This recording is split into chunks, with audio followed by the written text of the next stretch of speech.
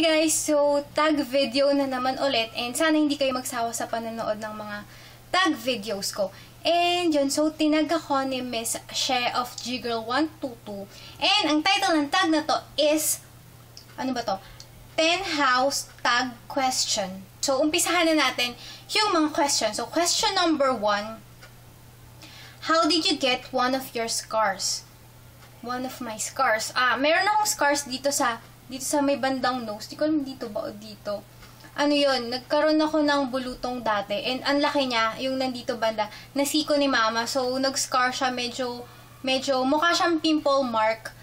Pero hindi, scar siya sa bulutong. Nasiko siya, kaya natuklap. And simula nun, hindi na siya gumaling. Kumbaga, scar na talaga siya. And question is, how did you celebrate your last birthday?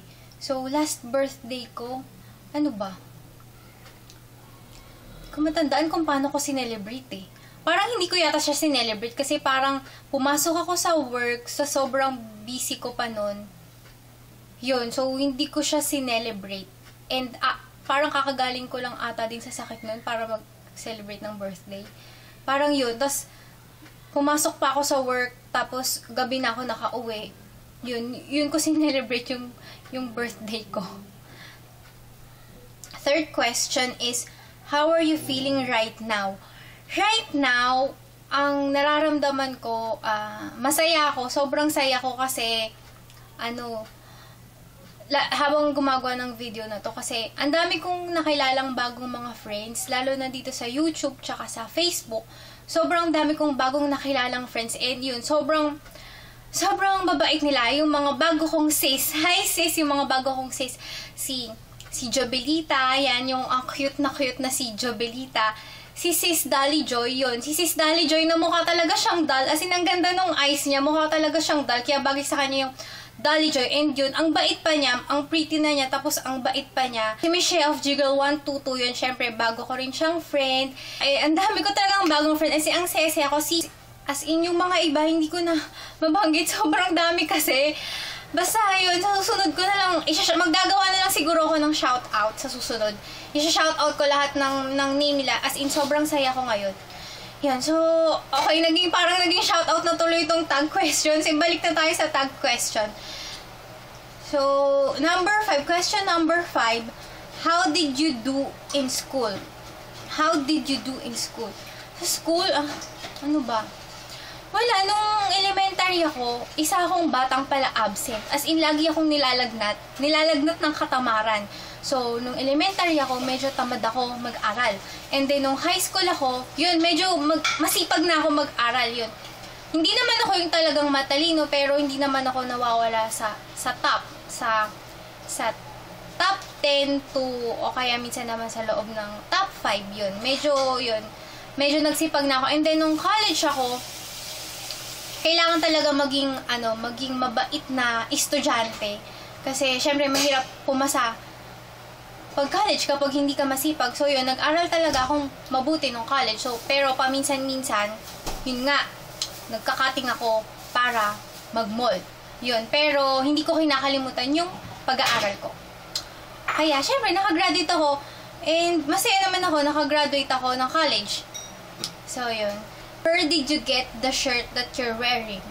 Itong shirt ko, ito, hindi ko na matandaan kung saan, pero ang ang nagbigay nito sa akin, yung mama ko, binili niya to para sa akin.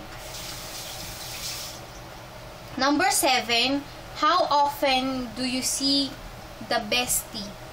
Hindi na siguro ngayon, hindi na gaano kasi sobrang busy na ako sa trabaho. As in, gabi na ako araw-araw umuwi. Tapos pag uwi ko, kakain na lang, tulog na. Tapos pag weekend, marami ding trabaho. As in, sobrang naisisingit ko pa tong mga pag-video na to. Hindi ko na sila talaga gano'ng nakikita. Siguro sa Facebook na lang. Ganun minsan. Ganun. Facebook na lang talaga. Question number 8. How much did how much did you spend last month? So last month, hmm, hindi ko na matandaan, hindi ko naman kasi binibilang kasi pag binilang ko tapos nakita ko na sobrang magastos pala, sasakit lang yung yung ulo ko. Pero yun, hindi ko kasi binibilang yung na-spend ko lagi. Pero 'di ba dapat ano, dapat nagko-compute. Pero yun, hindi, hindi na eh. Minsan tinatabi ko yung mga resibo ko, tapos nililista ko, pero yun, nagkakaroon lang ako ng maraming kalat sa bag, panay mga resibo. Kaya yun, simula nun, hindi ko na talaga iniisip kung ano man yung nagastos ko nung mga nakaraang buwan. Basta, natatabi na lang ako syempre ng, basta hinahati-hati ko na lang siguro yung budget, yung allowance, yung bayad sa kuryente, yung mga ganun. Ganun na lang. Pero yung kabuuan nila kung magkano lahat, pati pinambili ko ng makeup, pati yung pinangbaon ko, hindi na, hindi ko na, inaano, hindi ko na kino-compute or hindi ko na iniisip. Question number 9. How old do you want to be when you get married? So, eh ngayon, hin- hindi na applicable sa akin to question na to kasi married na ako. At magto 2 years na yata akong married. So, nag nag-asawa ako 27 ba? 27 yata eh. Pero ngayon 29 na kasi ako and yun, married na ako. So, question number 10 and ito na yung last question. How old will you be on your next birthday? Next birthday, 30. Yun, 30 na ako. Sana nagustuhan niyo yung mga sagot ko. Hindi ko alam kung may sense ba yung mga pinagsasabi ko ngayon.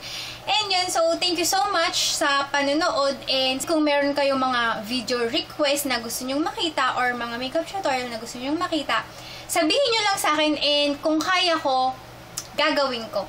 Okay, so yun. Thank you so much. And kung gusto nyo pa ng mga videos, lalo na yung mga haul videos, mga reviews, subscribe lang kayo sa video ko and ilike nyo tong video na to kung nagustuhan nyo yung mga sagot ko and kung sa tingin nyo may kwenta ba para kasi walang kwenta yung sagot ko. Okay, so yun. So, thank you so much. Bye!